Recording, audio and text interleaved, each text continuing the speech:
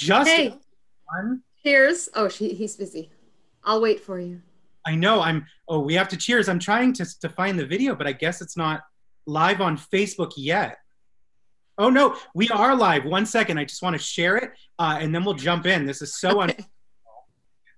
Uh, when I'm hearing myself, oh my This god! This is like the beginning of every single live stream event I've ever watched. Oh gosh! Oh gosh! Um, what's going on here? Oh, oh. Oh, and I'm hearing you. Oh, hi everybody. My apologies. Oh my It's so great. It always starts like this. Are we on? Are we live? Can you hear me? Uh, okay, one oh gosh. And then the middle of it is going to be, I'm sorry, you talk. Oh, I'm sorry, you go. And then at the end, it's going to be, are we still on? Okay. so we have, we're here for um, visiting Broadway with Bobby and Linda. And we want to welcome anybody who might be watching from Facebook or YouTube or right through our direct channel on E exp1.com. Um, we do have a, a special edition today, right, Bobby? You, we have a very special edition and a very special guest. Um, and I'm oh, very excited. first we have to because obviously this is more fun with these kind of beverages. Um, what are you drinking today, Miss Linda? It's white wine. Last week, I bought a bottle of wine and I thought, all right, you know, I'm going to treat myself. And I bought like a more expensive bottle. And um, then this week, I decided, you know, I'm going to get one that's half the price and see if there's really any difference. And I like this better. So, as always, I am a cheap date. Before, okay, real quick, and I know I could go on a long tangent. I was actually reading an article on Facebook this week that said um, the best wines are the mid price. So not the expensive ones and not the super like two buck chuck. It's the ones in the middle. You get more bang for your buck and they taste better. So I like it. It's light. Well, here, what are you drinking? I am drinking. It is oh, it's fancy. Uh, it's raspberry Absolut, so raspberry vodka with um, this new blackberry fresca that is light. It is the most delicious. So Man, it looks like water. Right, which means it's easier to drink. Shall we cheers? Cheers. Ting. Guys. Eyes. Okay, so All right. we are here for visiting Broadway. I think this is our fourth episode, Linda. Fourth or fifth, right? Feels like just yesterday that we started, and yet it seems like it's been happening for a year. I don't know. And all of How, yeah, and and how has your week been? Um, my week's okay. I drove back from California uh, to my home here in Las Vegas on Monday. Um, it was actually a lovely drive. I usually hate making the drive, but um, uh, I enjoyed it. It was fun. I sang a lot of show tunes in my car, so keeping things on theme. Um, I made my way through the entire Next to Normal uh, cast album, so nice. and the other things. And yeah, it's the weather's been okay here in Vegas. Uh, a little hot, but not too crazy yet. Uh, how has your week been? Well, it's you know Portland, Oregon. Here is it's it's funny. The weather is funny. It'll be gorgeous one minute and then raining the next, and that's how it is every day, all day. And I kind of love it. Um, you know, doing what everybody does, staying in, taking a walk. You know what I miss a lot? Petting the dogs. Oh my gosh, absolutely. Well, because you can't do that now. People don't want you anywhere near their animals. get like weirded out if you even look at their dogs but but um you know and i've been singing also and uh i've actually been rocking some like 60s pop this week that's been my thing Loved your recording of Johnny Angel. and i you know what i was inspired i know i was inspired by your smule gosh, uh video from uh what is it vampire dance of the vampires Dance of the Vampires. Yeah. Right. And I know that you were, I gotta tell you, Bobby, I was very impressed with your singing voice. I always knew you had a good voice, but this was like another level.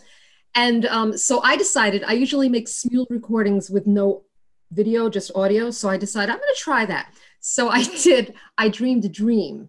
Oh yeah. Oh, did you video. um uh did you do that version with what's his name from Glee? Or did you? No. Don't make me mad. I won't.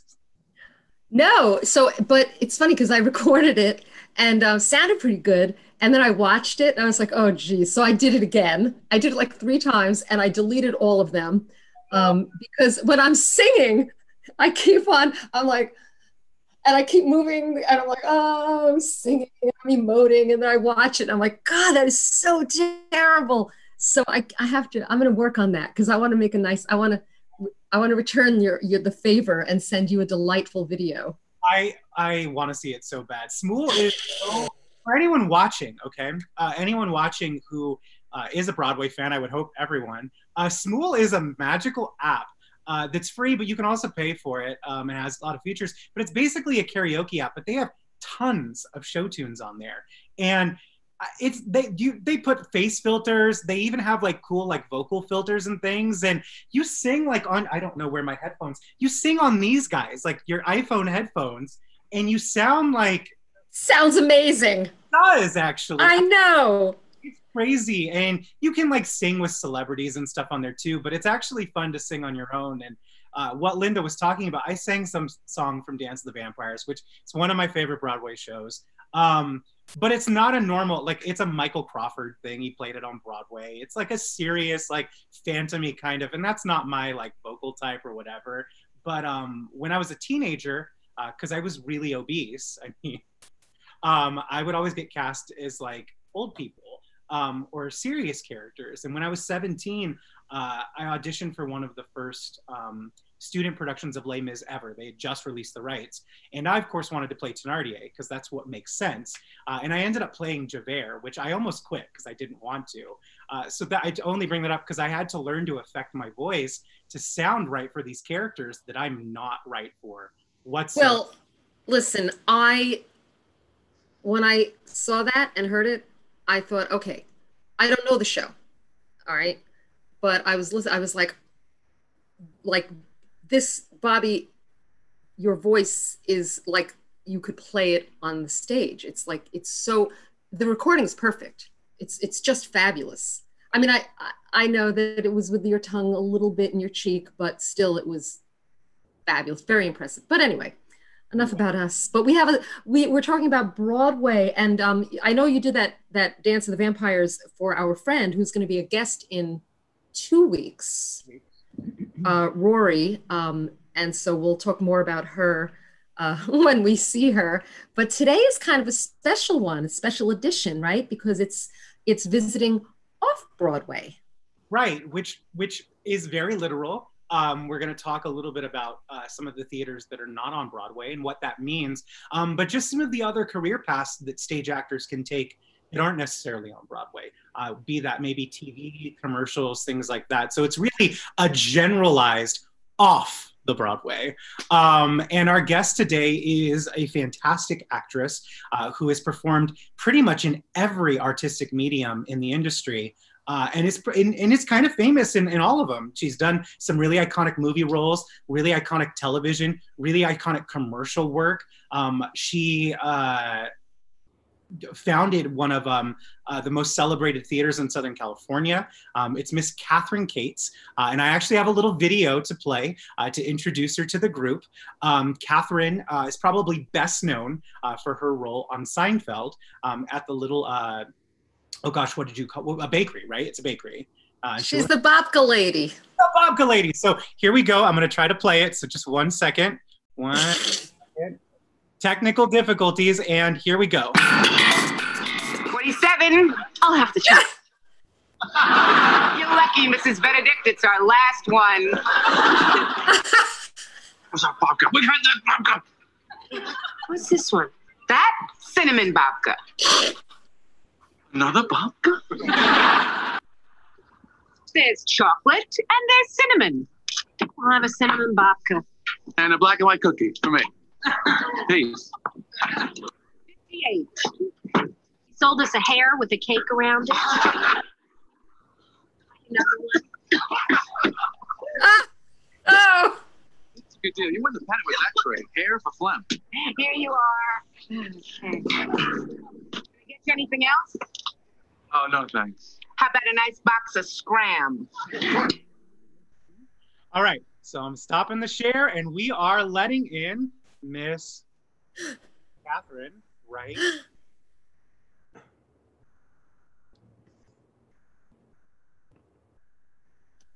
Yes. There she is. Yes. Hi. Hi, guys. You can hear me? There's the yes, we can. There's the troublemaker. Yep.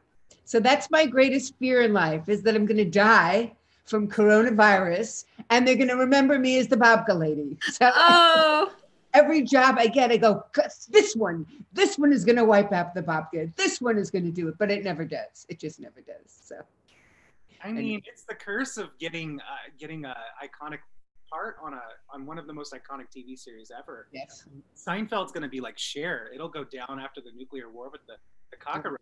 It'll be. I mean, I, I, I get get checks every other day actually recently because it, everything everybody's running it so much. But um, I worked with an actress named Veanne Cox, and Veanne is a big Broadway New York actress that everybody knows. And we ran into each other backstage one day, and she said, "You know, all of the work I've done in my life, and they remember me from Seinfeld." She was the loud laugher. I think that was her. Anyway, it's just you can't get rid of it. So celebrate it. Be happy about it. yeah, you get the checks. Yeah. Um, so, Kathryn, you and Linda know each other for a very long time, right? We do. We did a musical together. we actually were in an off, off, off, off. no, no, that's not true, Linda. It was not. It was an off. The Theater for the New City is a very well established. Oh, it's one of the oldest off Broadway theaters in New York, and um, and it was an absolutely unbelievably hysterical musical. It was actually brilliant, and it was we got an amazing review in the New York Times, and then because of some crazy screw up at the theater, we had to close it. Which to this day I don't understand how they let that happen, but it was um, it was a phenomenal little magical piece of nonsense that just came together and it was great. It was a great, great And that's where we met. and that's where we met. Where was it? What was it called though? Dollface. Dollface. When Oh, you're looking at Dollface right there, it's Linda That's Shelby. me. Dollface. okay. And Mrs. Silverfarb. Linda's played me stuff from Dollface. Oh my gosh, I've heard about it so It's- much. It's great music. It's really, really great music. Yeah, well, that's awesome. Um, So the theater knew for this. You didn't tell me. It was it the theater for the new city, Linda? She down? I didn't. No. We didn't know how iconic that place was. I sort of do, but you know, I, you know how we are sometimes. I also want to give a shout out to David Foreman, who is the musical genius behind that play, because it's a shame that, it, that they're not banging down his door to do more work. So, anyway. Yeah. Well, yes, and and David Foreman, um, yeah, musical genius. Uh, that's uh, how I met. We have a guest next week. We'll talk probably more about David Foreman next week, in terms of Little Isidore, yeah. because that's how we met the guest that's that we're going to have on next week, Kurt. But anyway, um, but Kathryn, you've done a couple of musicals at Theater for the New City. Uh, no, that was the only one I did there. What about the Schoolyard? That wasn't done there. We did that at, that was part of the Fringe Festival, and I think we were at the Soho Playhouse for that. Uh, but no, we didn't do that there. So yeah, Kath, so Kathryn, you have done all the things. You know, TV, movies, um, worked Commercials. Broadway, all of it. Um, but you've done a lot of off-Broadway work in New York City, right? I have. I have. I moved back here. I lived for over 25 years in LA, and I founded a pretty wonderful theater while I was there. And for the first eight years, when I was very young and stupid, that was all I did. I could have been anywhere in the world. I never saw the light of day. I just spent all my time in a blackened theater, and we were building a subscription audience. We had a genius artistic director who was very good friends with Ray Bradbury. And Ray gave us, first, he gave us The Martian Chronicles, which was this unbelievable hit. We moved it to a full equity production. Ed Harris came, and that was the first time I ever worked with Ed, and he did the equity production of it that we did. But it was mostly the company that moved over with the with the play when we moved it. And that was a big deal back then. To move something from a 99 seat theater to a full equity production was a pretty big deal. But because we had Ray in our back pocket, um, he then gave us Fahrenheit 451 that we put on stage, and then Dandelion Wine was turned into a musical. Jeffrey Rockwell did the un- unbelievable music for it. And so we got very famous very fast. And we also had a company of actors.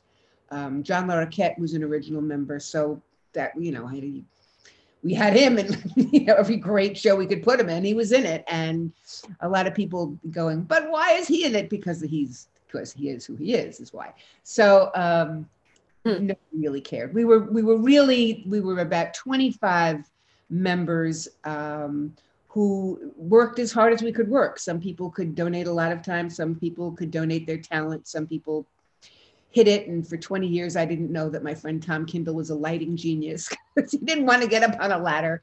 But that was what we were. We were a, a ragtag company, and it was back in the days when you could do it for very little money.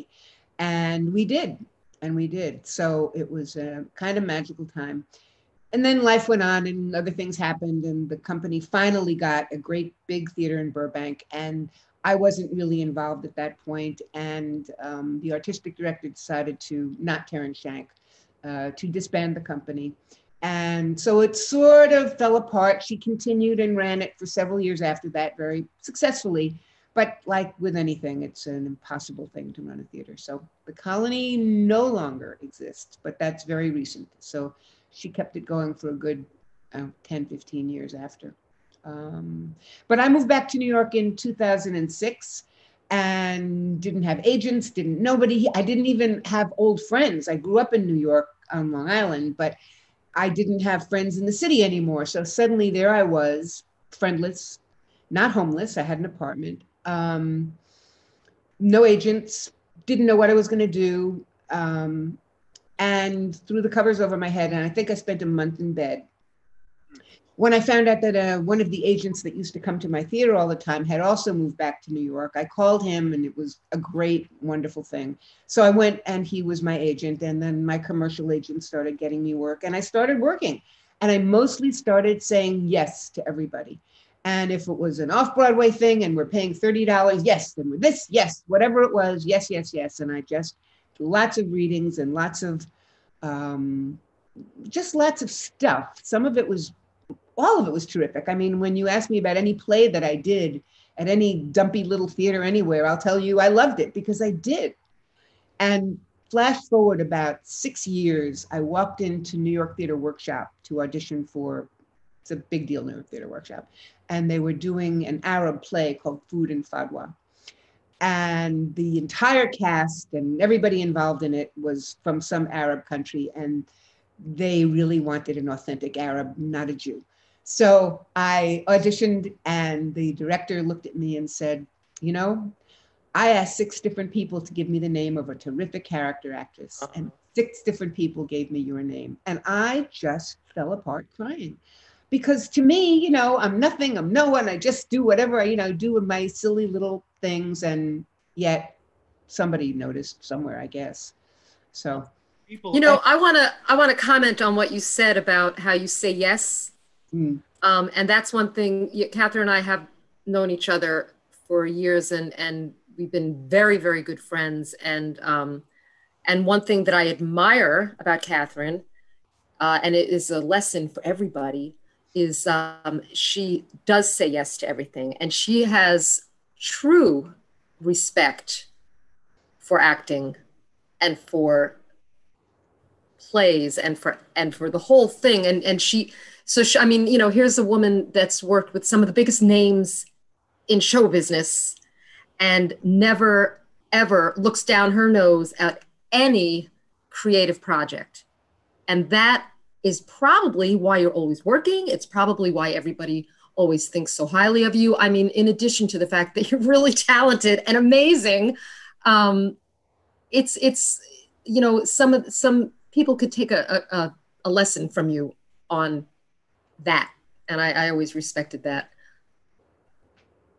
Thank you. now I, I did i had um, a question uh, if somebody well actually no i'm, I'm not going to answer that question right now um, what i'd like to know is uh, to know about some of the other projects that you've worked on in the city of food and Fadwa I, I saw and uh, that was the one where they were cooking on stage right it was delicious Yes. that was a delicious play It um, and it was fabulous, really great. You were so funny in it. Um, one thing I always notice about you, your entrances and exits, you are always coming from somewhere and always going to somewhere. And that's I noticed that so much in that play. Um, and so, tell us about some of the other like really great off Broadway shows that you've been involved with. I probably uh, the ones that stick out um, are I worked with a group called the um, Potomac Theater Project. They're interesting. They rehearse at Middlebury College in Vermont, and they then come to New York and work at the Atlantic, which is a fabulous off-Broadway theater. Uh, they have the Atlantic has a smaller theater on 16th Street, and that's where Potomac Theater people present their show. And what's so terrific is you go up to Middlebury College for uh, six weeks or however long it was, and they hire some of the students that are graduating from Middlebury in their acting classes. So the students are working with professional actors from New York. In my case, we did a play that um, uh, we brought the the lead actress came in from L.A. So they bring you know they bring in people that they know and they don't care and they have enough money to do it. And um, so this is a, this was a Howard Barker play. And Howard Barker is a genius playwright. He's in England, and people know him in England, and they mostly don't know him here. And this play was called Gertrude the Cry, and it's sort of Hamlet, but it isn't. And um, it, did you see that one, Linda? It starts actually. I did. I did. Yeah. And mm-hmm. Anyway, it was a it was a it was just it was brilliant. It was I was working with genius people and I had a fabulous time up in Vermont doing it. And then we had a terrific run here in New York. So that was the one with the woman with the blonde hair. She was in the lead. The very statuesque. That's the one. Yes. And yeah, I remember that very well. The naked, whole stark naked having yes. sex over her dead husband. Hard to forget. Yes. Yeah. That's right. I forgot about the naked part. Um, how, but now it's all coming back to me. I was sitting front and center for that one. I'm not sure if I even saw that one twice, but um, yeah, that was that was really great. You were uh, it was like a funeral and yeah, yeah, yeah, yeah. It was it was, and I got to die at the end, and I I love to die, so, so that good. was fun. And I also worked. One of the first plays I did was at La Mama, and La Mama used to be. I mean, La Mama is you know world famous and world renowned and this, so this was early on when I had just gotten back here, and I worked with uh, a playwright named Saviana Stănescu, who's Romanian. And to this day, I think it's one of the most brilliant plays I've ever done. Very political. It was called Waxing West, and it was about a young Romanian girl who has nightmares, and the Ceausescus come to her in her nightmares. And her mother, who I played, sets her up in a marriage, and she goes to America to for this prearranged marriage, and the play dovetails with 9/11. It, it's just a brilliant political piece of amazing theater, and I don't know why we. So we did it at La Mama.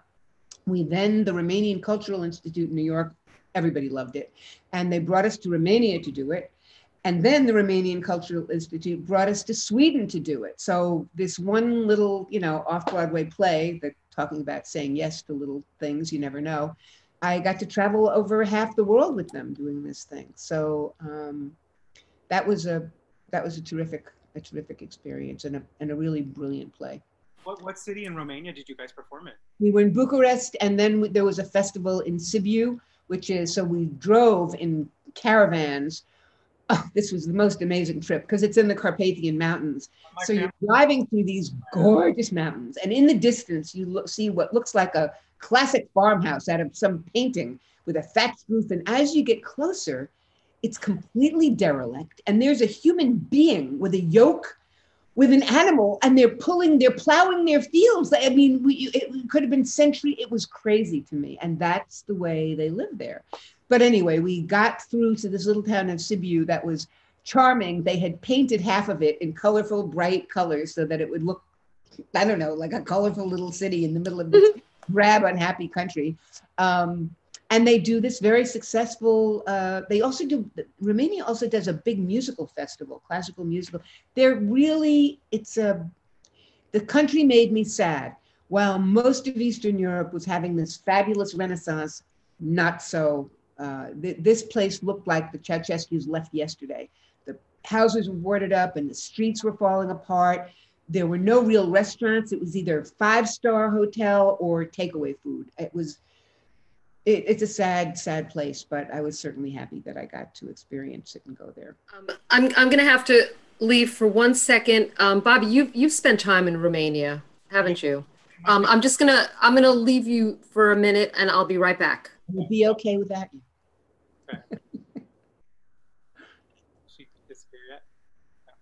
Um, no, I my my family's from Sibiu, so Oh my God. yeah. So I actually went in 2016. I took my 90 year old grandmother. Her parents were born and immigrated from a small, t- not from Sibiu proper, so not from the, beautiful medieval village, you know, Right. but uh, from a, a town uh, maybe maybe 15 20 minutes away uh, and we me and my little brother we took her to romania proper and we went around the country but we went to Sibiu to see the little village her family came from Mm. um, you're driving on the freeways up beautiful carpathian mountains you know? Um, but like there are horse-drawn carriages on the freeways or on on, on the roads. And um, it is you're right it's it's it's beautiful but it's very sad to travel the country because it does it's not experiencing the same renaissance the rest of europe is, is doing. And it Yeah. sucks because they're in the european union. And so they're kind of like well why aren't we why aren't Right. we like everybody else? And um, and the young people of course are all obsessed with american culture because of tv and Yeah. like but it's it's not, not the happiest place you know I Um, know. I know. anyway, that's cool that you you you got to go there with a play. I wish I had seen theater. My grandma was not into doing anything like that when we were there, but um, that that sounds amazing. Oh my goodness. It was. It was. It, I mean, I'm just so grateful and so thankful to have had that amazing experience. So yeah. Linda, that was so quick. Kathryn, look, Oh, thank you, Linda. Very pretty. because Kathryn, she's Kathryn told me. Kathryn told me to change my shirt, and then I looked at myself and I said, "Oh no, she is so correct." Oh my god. And so, I always, I always listen to what Kathryn says. It's always the good advice. Oh my goodness, that's crazy. Well, Kathryn, so Yes. do you have a favorite off-Broadway theater in New York? Do I have a favorite? Probably, and this is going to be, this is always my answer, unfortunately. It's always the last thing I did. And the last thing I did was at the Labyrinth, which wow. is certainly not a beautiful space, but it was an iconic space. And Philip Seymour Hoffman, who established Labyrinth as a, as a group, um, his ex was the director of the production I did. It was called Nice Girl by a Labyrinth member, Melissa Ross, and it was a gorgeous play uh, it was four characters, and the male lead in the play was Nick Cordero. And unfortunately, Nick Cordero is that beautiful young actor who's now at Cedar Sinai in LA going through the worst nightmare I've heard of anybody with COVID. He's had his leg removed, his lungs aren't working, he's on dialysis. He's, it's just been, it is beyond, it is beyond belief that this gorgeous 41 year old guy with just married, brand new baby, the world, and I, anyway, so I got to work with Nick in that. And um, aside from the fact that it was everything about it was wonderful, it was a it was a great group and a brilliant director and a wonderful playwright and all these act. Anyway, that that that's at the moment my favorite. Yeah, no, that's um. Where where in the city is it? I It's in the Village. It's it's right near where I live. Oh wow, that's awesome. That's Yeah. awesome. Um, yeah, I, I, I, or Nick, we've been trying to give updates as we've been doing these. Mm. I know that this week hasn't had the best news. Yeah. I do think this morning things have taken somewhat of a more positive turn. I think I saw that. Let's see. I can't hear you. Can you hear me? Now I can hear you a little bit. It was, it was Faded. going away. Oh, Yeah. it's- okay. Yeah, no, I was saying that on CNN. It, it seems like maybe this morning things might be turning more positive again. Oh, good. Wow. but but it but it is cool actually that uh, CNN has actually been regularly covering. Uh, Yeah. this. Like you said, it's it's it's not only for the Broadway community, the acting community. It's one of probably the most severe COVID cases. Yes. So Yes. Yes. I um I, I've seen him in a couple things. I saw him in Bullets Over Broadway. Um, Mhm. fantastic in. Uh, and um, I think he was in The Toxic Avenger, which is one of the first things uh, I ever saw in New York City. Period. So, Wow. it's not Toxic, Toxic Avenger. Yeah, so Toxic Avenger is a classic, like um, I wouldn't even say it's a B. I saw the movie. Yeah, it's like a C horror movie. uh, but they made it into a musical back in, oh gosh, I want to say like 2008, 2009. It played at New World Stages, and I think Nanette Cordero, don't quote me on it, starred in it. Um, and I think one of the uh, bandmates of Bon Jovi wrote the music to it. I enjoyed it, but I enjoy I enjoy campy off Broadway stuff. So that's those, those are my favorite. Oh, you would have loved Dollface. You would have loved Dollface. oh, oh my gosh, we got to revive it. The well, that we want to. The uh, the review in the Times, one of the quotes was um, that it was he compared it to John Waters, Right. like They're total movie. trash or high art. He- he- Yes. he absolutely loved it. Yes, and I need to see the show. We have to do it. Oh my goodness. Yeah. Um, okay, so that's your favorite off Broadway theater, The Labyrinth, um, at least for the moment. Uh, maybe maybe it was at the Labyrinth, or maybe it's from other experience. I mean, do you have any like favorite like actor spots that you hang out? Maybe like places that you grab lunch with the cast, or you know maybe after You show. It's just always different because the city it, you're you're working all over the city. So it yeah i mean everybody's you got to hang out when you've got whatever play you're doing um, because that's you're all near it and you walk to whatever it is. So uh, but i mean you know i'll go to joe allen when i have the money and i want something really good. Um, but i'm not up in the theater district all that much. You know i don't um, it's not my favorite place to be and in fact, when I find myself up there, I'm usually scurrying through the mad crowd saying, I don't belong here. I don't belong here. This is not their fault. It's my fault. And that's how I feel about it. You know, I mean, just Broadway is, you know, I'm not a musical comedy person. So my options doing Broadway are limited. And especially the last 10 years, they opt for personalities generally. Um, by personalities, you mean celebrities? I mean, celebrities. I mean, TV names and film names and people who maybe they can be on a stage and maybe they can't.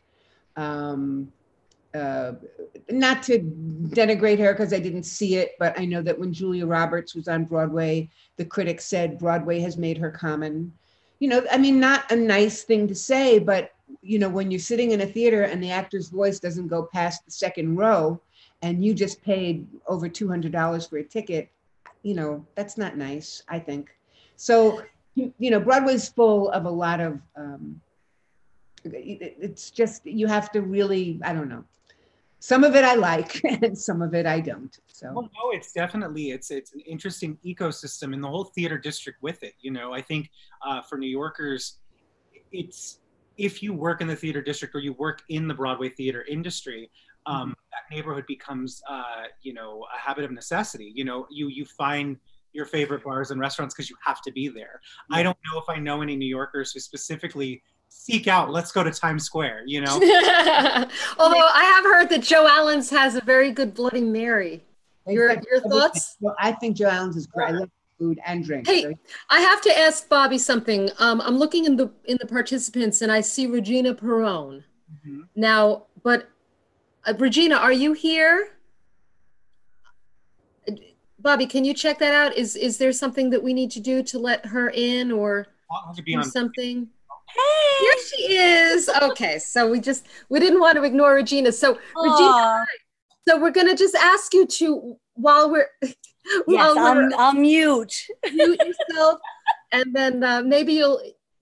Do you do you have when we in a little bit we'll see if anybody has any questions who might be watching on Facebook or YouTube, and you might have some questions. Regina, um, I know is involved with theater and uh, always looking for like really great audition songs, um, which is actually a, a question that I have uh, for Kathryn. Um, because seeing Regina's face made me think of this. Kathryn, I know that you do, as you just explained, mostly non musicals, but you've done a couple of musicals, and I have heard you sing, and you are really great. Um, I mean, you know, you are. Uh, and what is like a good audition song? Like, what are your go to audition songs? Because you're an alto. right. I have two. Yes. I sing Good to Mama from Chicago. uh-huh. And um, and I sing uh, Mrs. Marble because I I auditioned for Marble in um, in Wicked. So I, many years I have waited for that one. And uh, because there's a lot of talking in that one. So it's a talky, singy, and I can deliver it um, like that. Okay, interesting. Regina, did you have any questions uh, for Kathryn?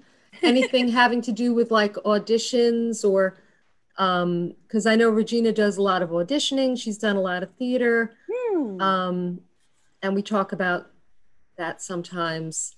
And you've got Kathryn Kates here. I know. Hi, Kathryn. Impart, impart some wisdom. I don't know. I'll have to think of that. All right, think about it. If you think of anything, because we've got we've got uh, what ten minutes? Is that right, Bobby? 10, 15. 10, know. 15. Okay.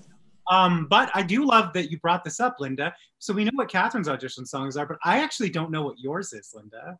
Mine? What is your go-to? You know, it's funny because um, I did sort of just a a smattering of auditioning um, in New York. Uh, you know, it's funny, like a couple of the jobs that I did um, like Kathryn got me in a couple of plays. She recommended me to audition for a couple of things. And then those led to being invited for other things. Um, and I did a little bit of auditioning after I got my equity card because it was fun to walk in and be able to go with an appointment and do that. And it really depends on the show.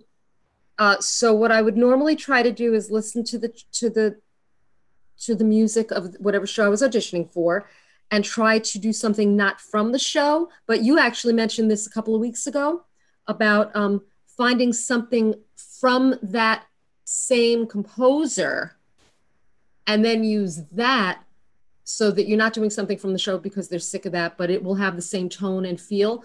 But let's say it's an original musical, so I don't really know what it's going to be. My ballad is usually Angels, Punks, and Raging Queens. My brother lived in San Francisco. Oh no. No, it's actually the the theme, the title tune of that. Uh, I played this dive in the village. Mm-hmm. Um, is the first lyric. Don't make me start singing. Um, no, but that but that was the reason I picked that. You know, is um, it was actually in a music book for auditions, and then the first time I did it, I gave the music to the accompanist and I said, my name is Linda Shell and my, my, my audition song is Angels, Punks, and Raging Queens. And always the reaction I would get in the room was, oh.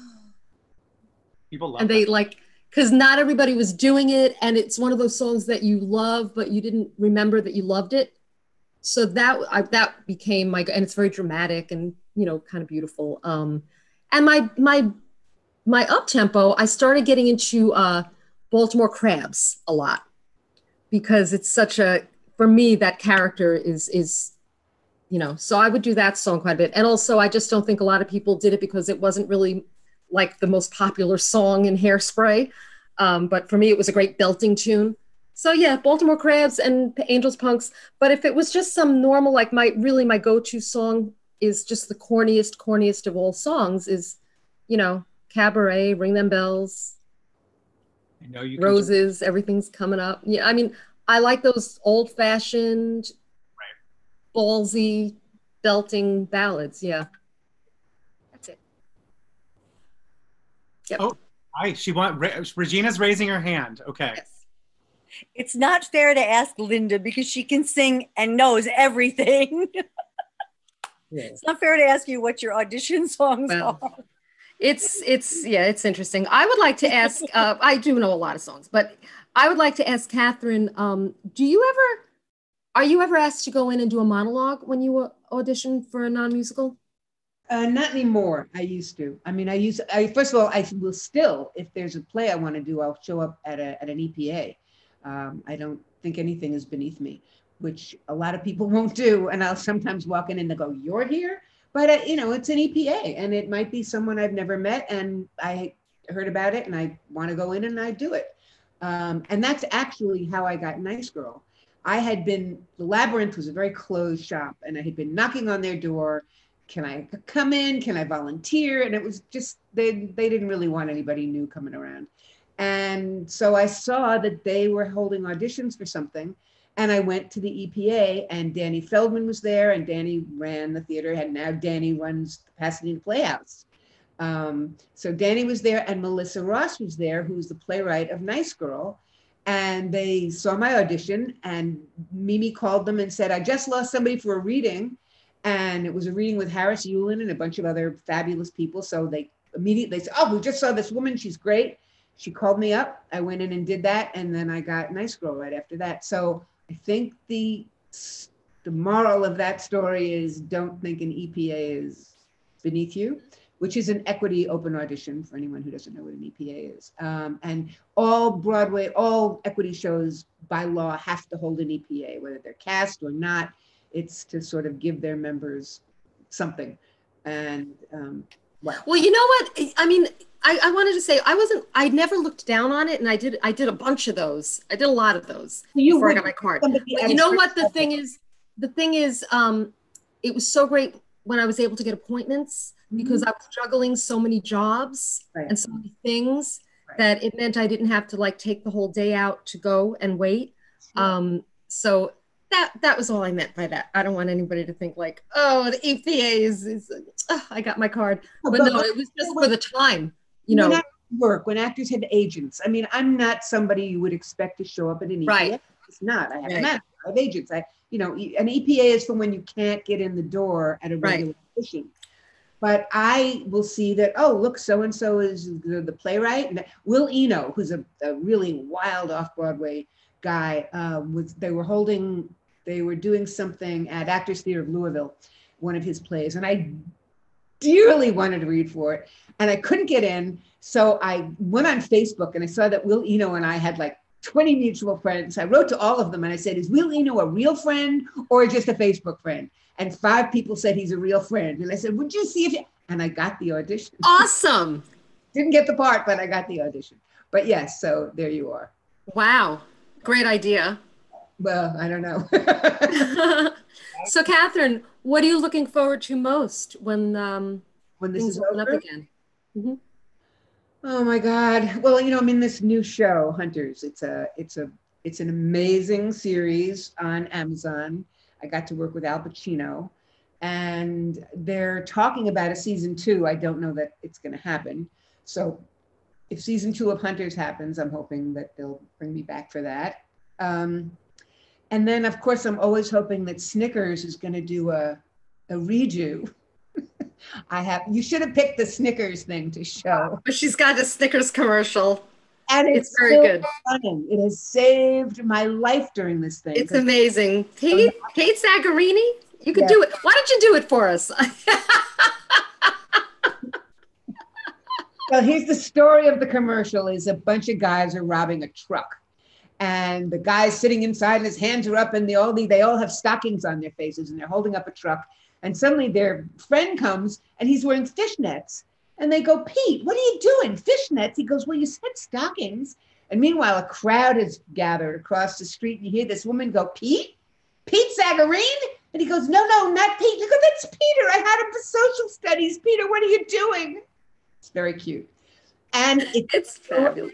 Through all of this, it's still running. So what happens is I'm getting kind of big checks from Snickers with thank you you know it's just amazing so. and you've also been involved with some some uh, readings some like uh, of new plays we're doing some um, zoom we're doing some zoom readings i mean actors are trying to keep busy unbelievably today i got a message from my commercial agent asking if i would be willing the to have an audition an in-person audition on tuesday and if I get the part, I have to be willing to fly to Atlanta the third week in June, right? Where the, and SAG is having them do all of this, you know, uh, social distancing and upgraded seats, and nobody will be near you. And so we've got a couple of guarantees with it. But this Ow. is first. I've had some auditions. I've had because like Disney, I've had a couple of Nickelodeon recurring roles and little animated things. So the voiceover stuff has continued, but this is my very first on camera and I had to make a decision if I'm willing to do that or not. And I said yes. So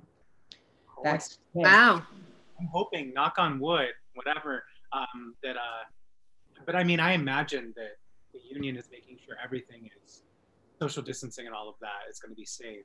Oh, I think, I think, you know, and I think, you know, SAG is really good about being protective and, I mean, but who knows? I mean, this is a whole brand new world we're in. Um, I, I want to say Regina uh, commented about the Snickers commercial. She said, I saw that. Um, and, and now she said she's, she's going to go back and look for you again because as soon as you did it, she Right. realized, oh, that's Kathryn. Amazing. you, Regina, I've got a website. You can just kathrynkates.com. You can go look at it. It's there. Oh, good. I will. Fun. Regina, did you have any questions about the like anything for Kathryn? Anything that's going on? I don't want to. I don't want to ignore you out there. All right. One quick question because I didn't know you did voiceovers. Do you have a home studio? I don't. I have my silly iPhone. Okay. I have I send everything to my brother and I go, "Would you turn this into an MP3?" and he does. So, yeah, I mean, I'm I'm the least technical person in That's awesome, though, that I know and I actually get work. quality's working, right? So, Yeah, yeah, yeah, yeah. Where are you, Regina? Where are you? Hopewell Junction, Oh, I know Hopewell Junction. New York. Yes. yes, New York. For anybody else who's out there in the world. Anybody who's not from New York doesn't know what Hopewell Junction is, and most people from New York don't know what Hopewell Junction is. That's true. But we, um, I'm really glad that Regina joined in. Um, and uh, I don't know who's out there on Facebook or YouTube land, but thanks for for joining in. Um, Kathryn, any uh, uh, Bobby? Did you have any other questions for Kathryn before we sort of I let Catherine go? Any final thoughts, parting thoughts? I could sit here for two hours. Um, so, and I won't do that. But other than just saying, it's been so lovely to chat with you for a bit. Uh, pick your brain on a couple couple things. Like uh, this has been so great, and I'm so glad that Regina joined us. Um, is there anything, any final like tips or just tidbits you want to to the to the to the Facebook land, YouTube land throw out there? Kathryn's right in the in New York City right now. Here in this nightmare of a place to be. Um, and I think everybody should sa- stay as safe as they can. It's it's not fun being in New York City right now. Um, I'm fortunate because I live by the water, so I can sneak down my stairs and go down nine flights, and I'm on the Hudson River. But boy, for people that are trapped in the middle of the city, and I I mean I see cars loaded with mattresses every day. People are leaving here in droves. Wow. It's yeah, it's it's real, and I don't think you know how real it is until you're here. So, um, to everybody out there, I say stay safe. Thank you so much, Kathryn. for You guys, it's really a treat. Uh, one of the things I despise is talking about myself. So, I hope I did it without sounding like an idiot.